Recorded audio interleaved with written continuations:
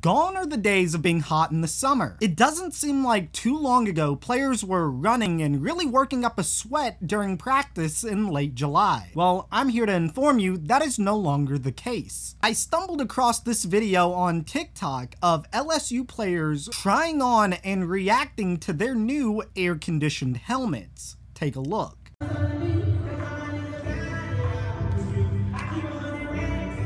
Shit feel good. Yeah? How's it feel, right? feel hella good, actually. yeah. How long this last? Like, Five hours. Oh shit. I know.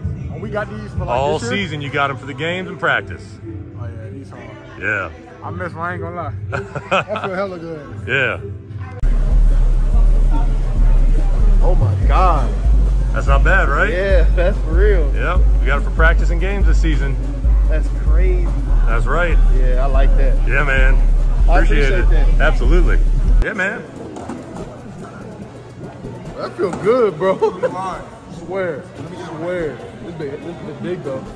But dude, Yeah, I used to get my head. if I'm running in this, I ain't sweating at all. at all. at all.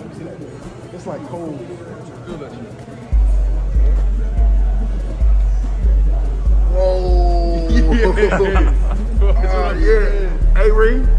Yeah, nah, this this jump fine. I feel like the air like right here. Right there. You can move it around, twist it, and there's three different tube lengths. Whoa. Get it on your forehead or have it all the way down to your nose and mouth, wherever you want it.